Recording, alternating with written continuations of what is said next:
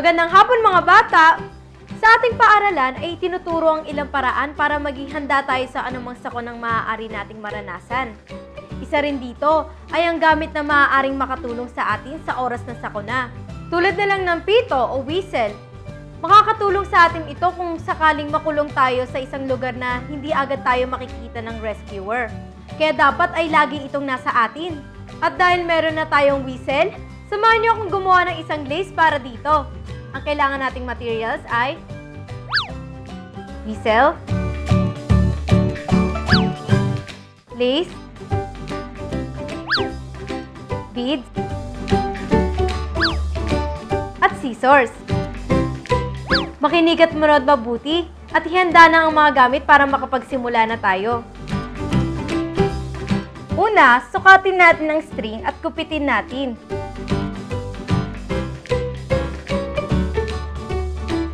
Sunod, lagyan natin ng beads ang string.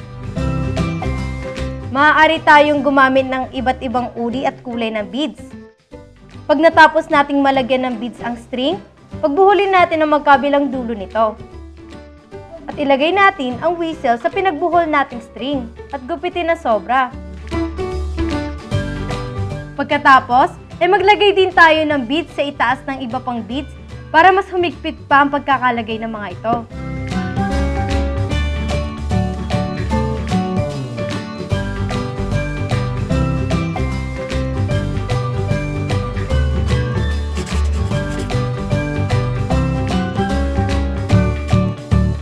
O ayan mga bata, may lace na ang ating whistle.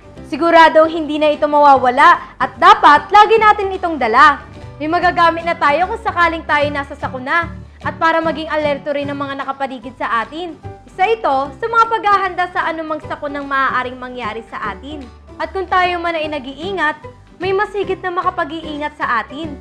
Basahin natin ang unang Juan 5.18. Nalalaman natin na ang sinumang ipinanganak ng Diyos ay hindi nagkakasala. Datapwat, ang ipinanganak ng Diyos ay nag-iingat sa kanyang sarili at hindi siya ginagalaw ng masama. Samahan niyo ulit ako sa Webes kung loloobin ng Diyos at sanayin natin ang ating kaalaman dito lang sa Kids Craft!